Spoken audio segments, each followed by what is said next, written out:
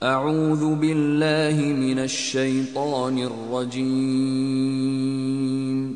بسم اللہ الرحمن الرحیم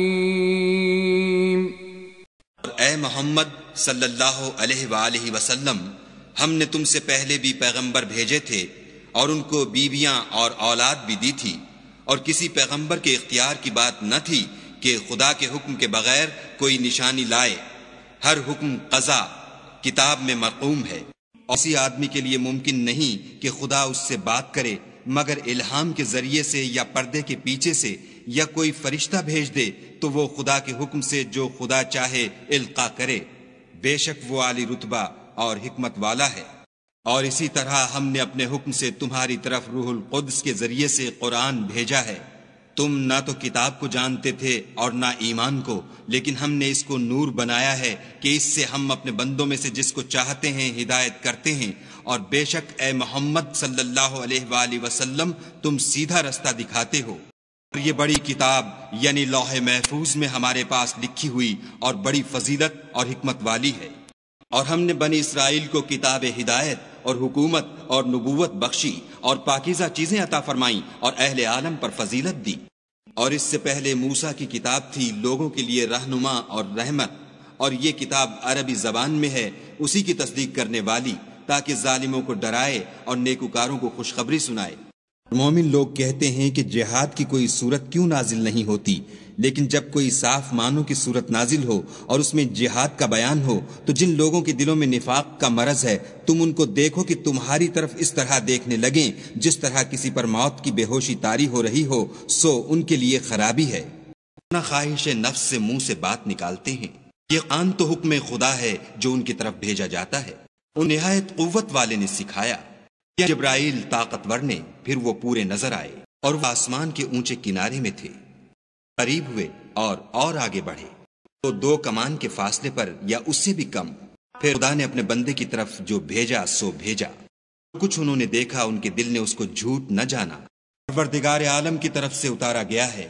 ابھی تک مومنوں کے لیے اس کا وقت نہیں آیا کہ خدا کی یاد کرنے کے وقت اور قرآن جو خدا برحق کی طرف سے نازل ہوا ہے، اس کے سننے کے وقت ان کے دل نرم ہو جائیں اور وہ ان لوگوں کی طرح نہ ہو جائیں جن کو ان سے پہلے کتابیں دی گئی تھیں۔ پھر ان پر زمان طویل گزر گیا تو ان کے دل سخت ہو گئے اور ان میں سے اکثر نافرمان ہیں۔ اپنے پیغمبروں کو کھلی نشانیاں دے کر بھیجا اور ان پر کتابیں نازل کی اور ترازو یعنی قواعد عدل تاکہ لوگ انصاف پر قائم رہیں اور لوہا پیدا کیا، اس میں اسلحہ جنگ کے لحاظ سے خطرہ بھی شدید ہے اور لوگوں کے لیے فائدے بھی ہیں۔ اور اس لیے کہ جو لوگ بن دیکھے خدا اور اس کے پیغمبروں کی مدد کرتے ہیں، خدا ان کو معلوم کرے۔ بے شک خدا قوی اور غالب ہے۔ ہم نے نوح اور ابراہیم کو پیغمبر بنا کر بھیجا اور ان کی اولاد میں پیغمبری اور کتاب کے سلسلے کو وقتاً فوقتاً جاری رکھا۔ تو بعض تو ان میں سے ہدایت پر ہیں اور اکثر ان میں سے خارج از اطاعت ہیں۔ اور دوسری عمران کی بیٹی مریم کی۔ جنہوں نے اپنی شرم گاہ کو محفوظ رکھا، تو ہم نے اس میں اپنی روح پھونک دی اور وہ اپنے پروردگار کے کلام اور اس کی کتابوں کو برحق سمجھتی تھی اور فرما برداروں میں سے تھیں۔